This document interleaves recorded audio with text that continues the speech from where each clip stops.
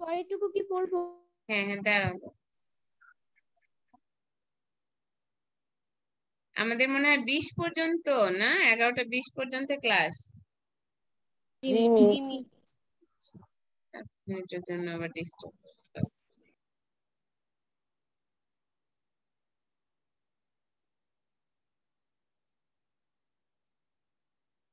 আচ্ছা সবাই আফরা? তুমি তো এখন সিলেটে চলে গেছো না? আফরাকে আছো? তুই আসবা আসা হবে তো আর অনেকদিন পরে নাকি? মিস কেন? না ঠিক আছে। আচ্ছা ঈশামণি? ঈশা কে আছো? জি মিস। ঈশা তুমি আমাকে ক্লাস শেষে একটা ফোন দিও তো। কল করব? হ্যাঁ আমার আমার নাম্বার আছে তোমার কাছে? আছে তো অবশ্যই। আছে না? হ্যাঁ। ক্লাস শেষে আমার একটা ফোন দিও আর আফরাকে আমি ফোন দিব আহ, বিকালের দিকে আমি একটা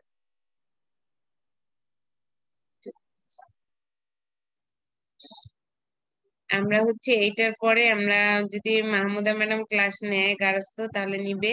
তা নাহলে আমরা কর্মটা শুরু করব। কর্ম জীবনমুখী শিক্ষা।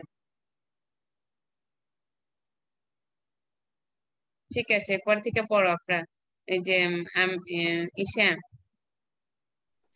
আমি পড়তেছিলাম। হ্যাঁ কে? তাহমিনা আক্তার হ্যাঁ তাহমিনা পড়ো। সেজন্য মাদকদ্রব্য ও ধূমপান থেকে শুধু নিজেকে বিরত রাখলেই চলবে না। বন্ধু বান্ধব সহপাঠী সহ আশেপাশের লোকজনকে এ থেকে বিরত রাখতে হবে।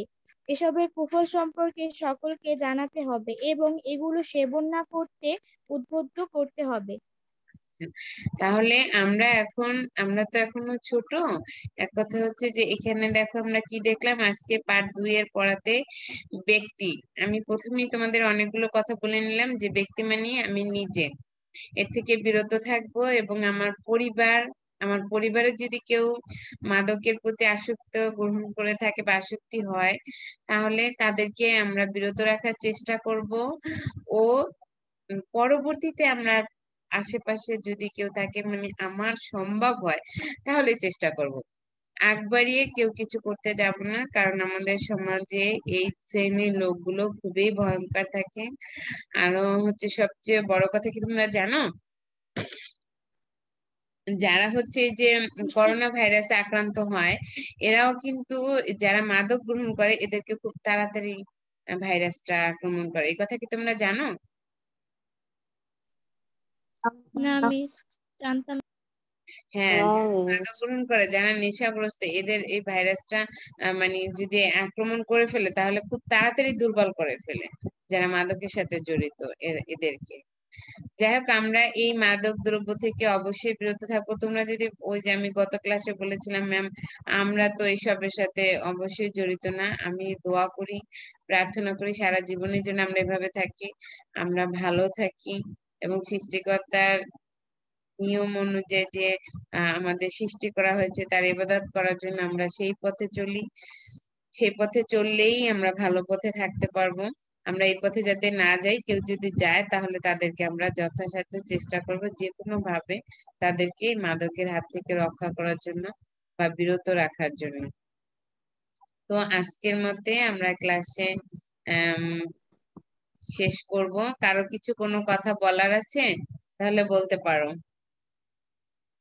আর যদি কারও কোনো প্রশ্ন না থাকে, ও বলতেছিলাম যে, ম্যাডাম যদি রাষ্ট্রবিজ্ঞান ক্লাস যদি না নেয় তাহলে আমরা কর্মজীবনমুখী শিক্ষা শুরু করব। এরপরে তো তোমরা রুটিন পাবে রমজানে কত তারিখ পর্যন্ত ক্লাস হবে বা ছুটি কবে হবে সে বিস্তারিত তোমরা পেয়েই যাবে। জি বলো। চ্যাট বক্সের কি নেম দিব? নাকি স্ক্রিনশট নেবেন কি? চ্যাট বক্সে কি নেম দিব? কি আপনার কথা শোনা যাচ্ছে না? একটু বল তুমি শুনতে পাচ্ছ? বলো তুমি জি মিস। কি বলো মিস ও বলতেছে প্রেজেন্ট দিবে নাকি? ও হ্যাঁ প্রেজেন্ট দিয়ে আচ্ছা আমার প্রেজেন্ট দেখো গত ওই যে প্রথম ক্লাসে কয়জন ছিলে আপনারা প্রথম ক্লাসে আমি ছিলাম না। কে ছিল ঈশা? আমিও ছিলাম না। হুম। কি করতেছিলে গত ক্লাসে তেইশ জন ছিল।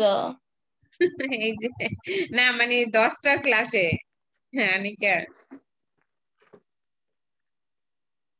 আচ্ছা যাই হোক এত আমরা স্টুডেন্ট কয়জন হব মোট? বলতে পারো কেউ?